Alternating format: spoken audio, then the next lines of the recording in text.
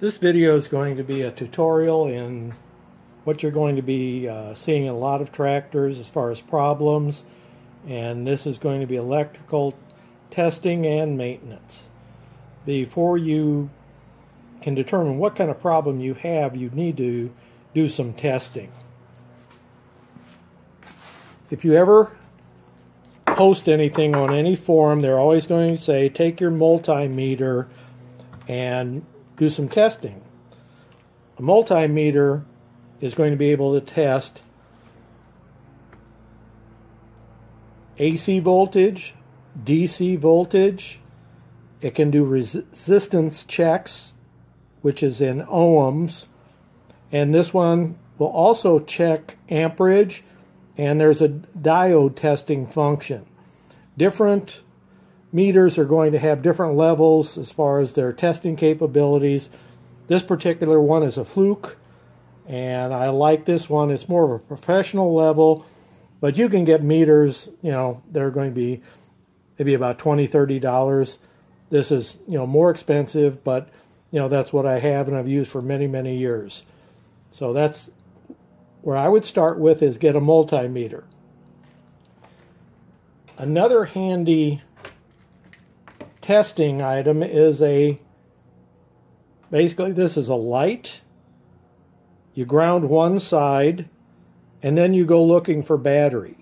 So if you're checking electrical wiring and you want to know is there battery there, this little tip will allow you to go inside of a connector and make a connection. You don't have to even take it apart. So this is something that uh, is very, very basic. But again, it's very useful because ground one side, and then if you're looking at a switch or something, you can easily find out whether there's battery on a terminal, you know exactly what you have there. I always like to have some jumpers. If I need to extend the lead from the trouble light or from meter, you know, basically I'm going to just connect these to a battery or ground and that'll make the connection. Battery is red and ground is black. And that's one of the things, when you look at your battery, there are two terminals, positive and negative. So if you're ever looking and testing a battery, you know that the positive side is going to be red and the negative side will be black. Usually your cables that are connecting to it will also be color coded. Something that I've had a lot of problems with are the terminals. A lot of problems with batteries are not the battery, you find out it's just the post that's coming out. The terminals have become corroded and need to be cleaned. And that's something that uh, I've got these terminals here. These are actually replacement terminals where you can cut the existing one off and install these. Something that you'll notice is one of them is larger than the other. Whenever you have a battery, the positive terminal is always the larger terminal, the negative terminal is always the smaller.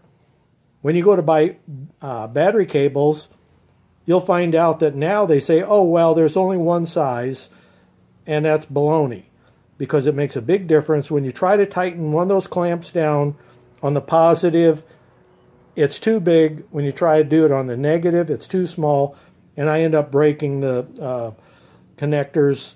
So I've found these on Amazon. One of the very few places that I found where they actually say that there's a difference between the positive and negative.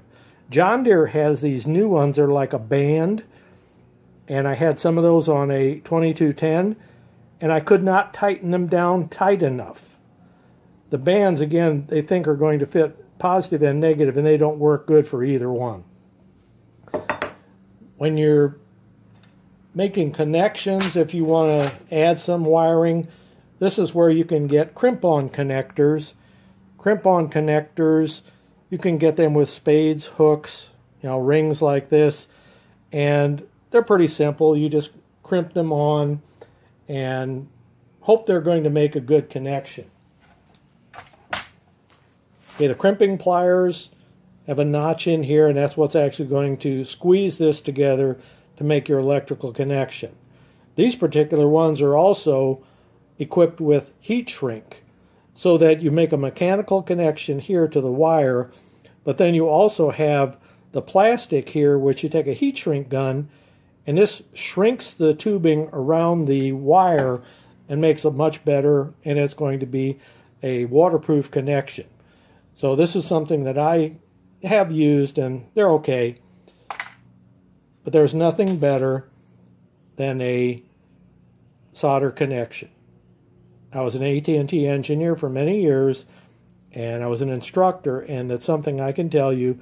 The best electrical connection will be a solder type connection.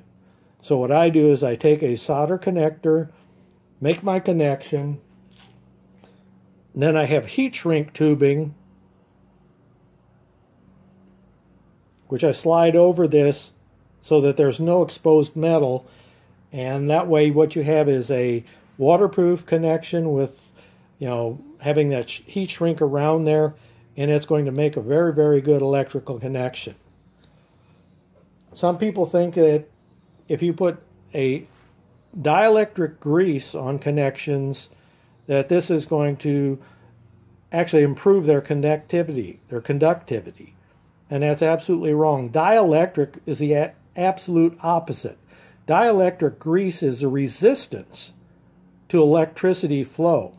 So if you put this on a connector, what it's actually going to do is seal it out, but it's not going to improve connectivity, it's going to re reduce it. So I've seen sometimes where people have done this and when you go to take the connectors apart, they're nothing but a big mess. And whenever you take a connector apart, you want to use some type of a contact cleaner. You're going to see I, I use a lot of WD-40 products. And I don't know if the products are that much better, but I guarantee you this little flip up straw, I love it. I can not use a shotgun to spray a connector. This gives me a little pinpoint blast. And if you want to go in this position, it'll be like a normal aerosol type can. So I use this and I will clean a connection first. And then, yes, I use WD-40. WD-40 is not a penetrating oil. It's actually, WD stands for water displacement. 40 is the 40th formula they came up with. WD-40 is a very light film of oil that will minimize corrosion. That's something that anytime you have two different metals and you're joining them together, it's just a matter of time and there will be corrosion. So that's where I like to put a little WD-40 on the connections. When you do that, install them, take them apart, install them, take them apart, and that's going to clean the connection and make it a better connection with a little WD-40 on there. You don't need heavy grease, just a light film of WD-40 is going to make your electrical connections much better. Okay, so you have a battery and the battery needs DC voltage to charge it. On tractors, there's something called a stator.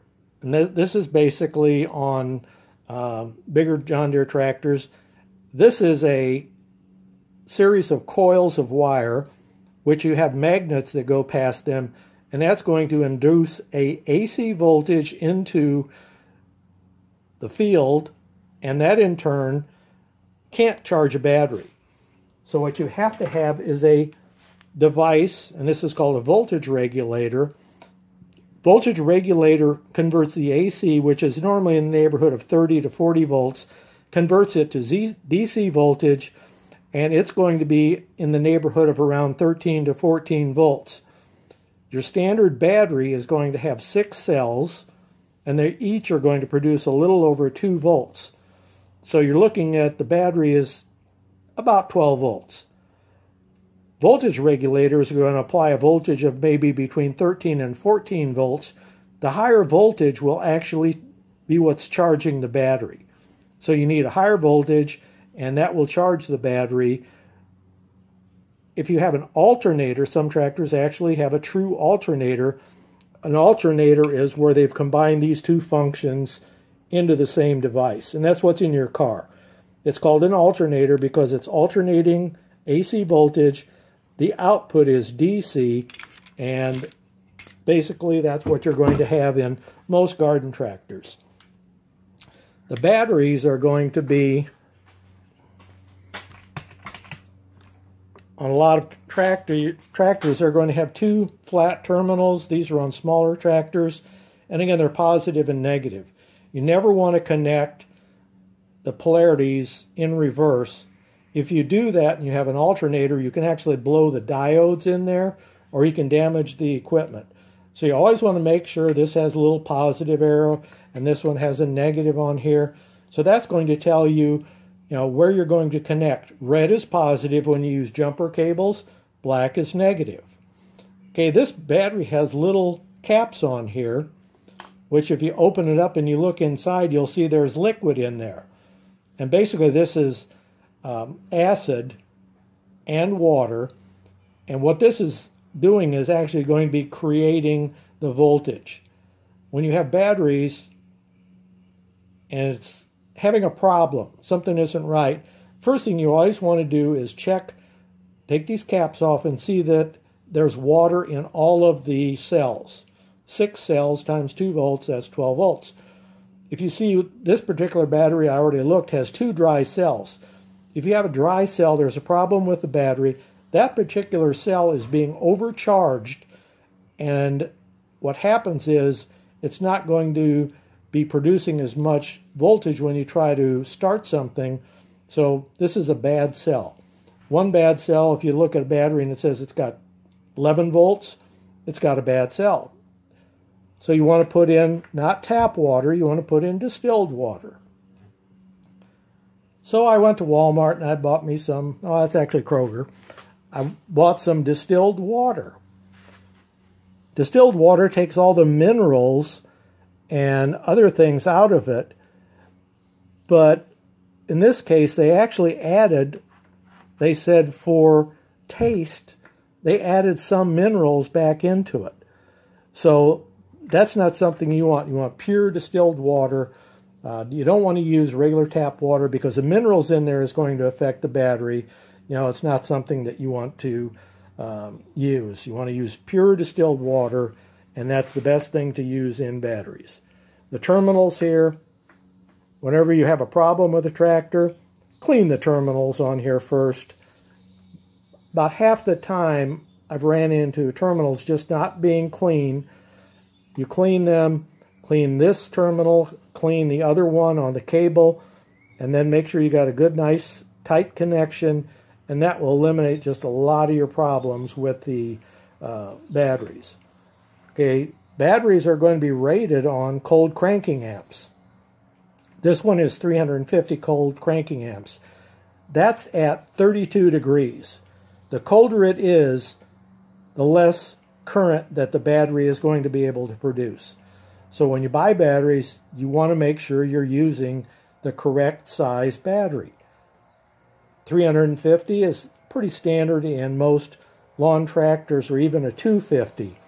My John Deere diesel tractors have 550 cold cranking amps. They need a lot more power to be able to start a engine when it's cold.